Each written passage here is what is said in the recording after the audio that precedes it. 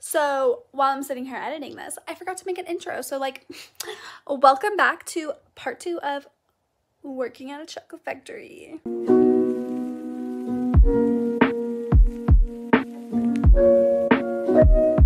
The next thing that I would like to talk about is how is how we served pretzels.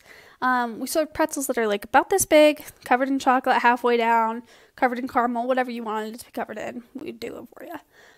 So these things, one, are delicious, and if you've never had a caramel chocolate pretzel, you have to go get one. I had an order of them, and they asked me to put it in a bag, and I was like, yeah, for sure, for sure, we can do that. So we have different types of bags. We have like an apple bag, which is like basically a sandwich bag that you get from like an elementary school on a field trip, right? But we also have like cello bags, uh, things that you would normally see at like flower shops. Uh, and we also have skinny little tiny long bags that you put pretzels in. Well, one time we didn't order like the correct like it was like a crunchy plastic bag to put it in. It was a very soft plastic. Um, so I'm putting this pretzel in the bag, and this kid that is ordering for me goes, "Oh my god!" And I'm like, "Are you good?" He was like, "Yeah, I'm good. I'm good."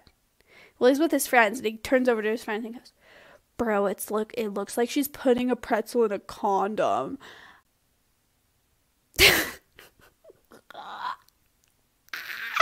okay, listen. That's fine. That's fine.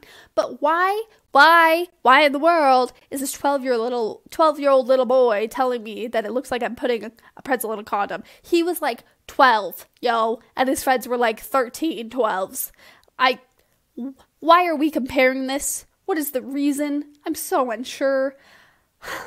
Anyways, I gave him his uh, condom wrap pretzel, so hope you enjoyed that.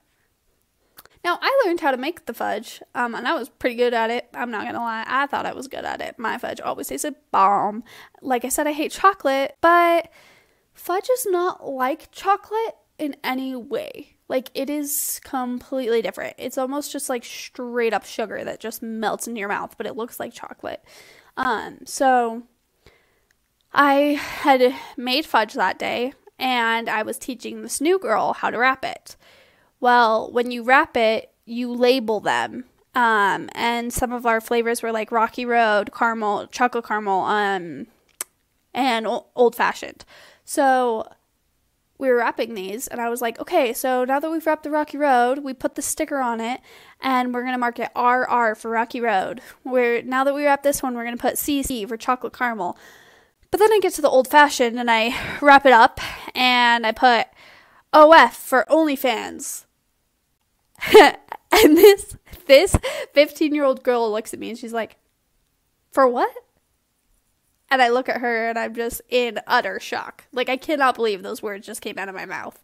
I was like, um what did I say? And she goes, only only fans. You said for for only fans, and I was like, mm, yeah, that's not what I meant to say. I was like, um, so this is for old old fashioned. And me and her, literally, I'm so glad that she was like chill about the fact that I said that because she just like bust out laughing and me and her are rolling on the floor just laughing. Like we had to go into the back because we were distracting customers. Like customers were like what the fuck is so funny? And me and her were just peeing our pants on the floor dying. So yeah it's not old fashioned fudge. It's OnlyFans fudge. Thanks for joining me. There's a few more parts coming out soon so stay tuned